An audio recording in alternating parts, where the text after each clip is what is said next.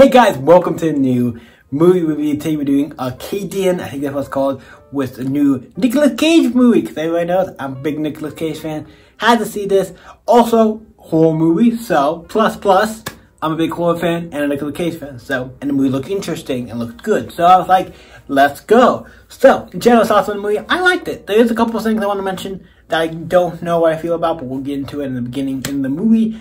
But overall, I think it was not bad. But let's get into it. Start off with, obviously, there are going to be spoilers in the video, so keep that in mind. Okay, so let's go. So, we have, starts off with Nicolas Cage as him, and stuff's going on, and he finds these two babies, and the world's kind of like, something happens to the world. I forget exactly what the whole deal is, but the world is like in a, not an apocalypse, but kind of like in a thing where like something happened, and the world is at night, there's like these creatures or something that come and attack, or try to get inside the house, because Nicolas Cage, then it cuts, well after Nicolas gets the babies, it cuts to a little bit into the future, where, into the future where the two kids he had are now teens, and he has to take care of them and all this, and he's taking care of them and stuff, and at night, the creatures come and attack him and they have to board up the house and make sure everything's locked so the creatures can come in. They eventually do um, have to fight him and stuff later. But the one of the boys is going to this farm, this other farm. I forget what it's called. This one that's this girl there that he likes. That's kind of, I think, the reason. But also they're like kind of nice people. But something happens to where he comes back one time. He goes off with his brother's like, hey, you need to go off with your brother, do this, and do this thing, this thing. And he says,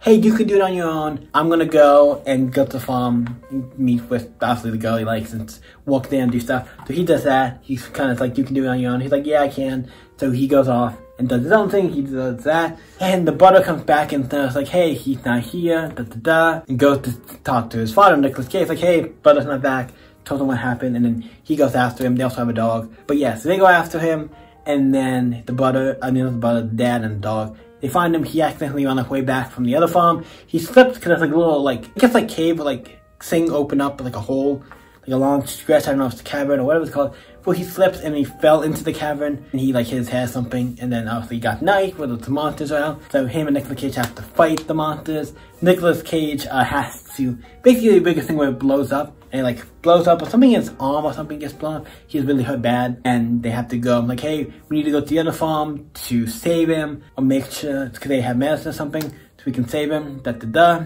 That's the plan. They go there it's like, hey, you can stay here, we like you, but we will not, you know, give you medicine or whatever. So he's like, I don't want to stay with you, I'll go with you. But then he's like, then he stays. Also, the other brother is really smart. He got this like vehicle, like, I was not tractor, but a little like, little like vehicle he got to run, like a, not tractor, it's like a RV, a little like, uh, what's it called there?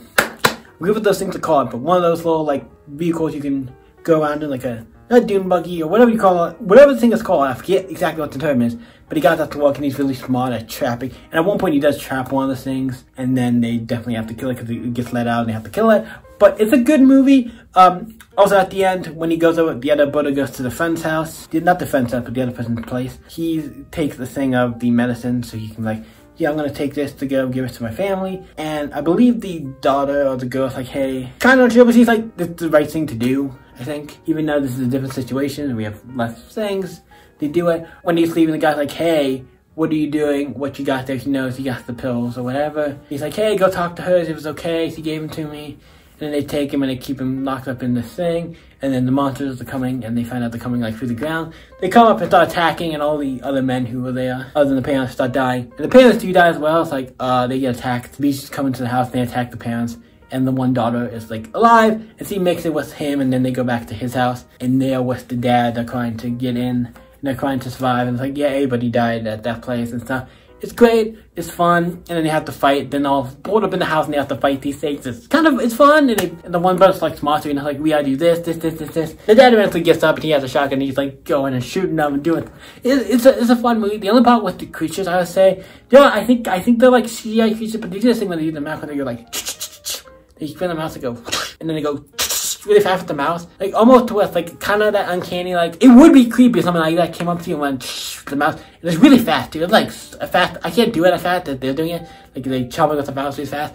It looks weird, almost like him from a weird. Like it looks weird, kind of when they when they do that. When they take out the mouse and you chop with that. That looks weird. That's the only part. I'm like that looks kind of weird. It doesn't look as. I, I, don't know if it like. It's one of the moments. I can't tell if that looks weird or not. Or that looks like it looks kind of weird. Like it looks kind of like one of those things with the CGI looks kind of. I can't tell if it looks bad or good like it kind of looked kind of goofy.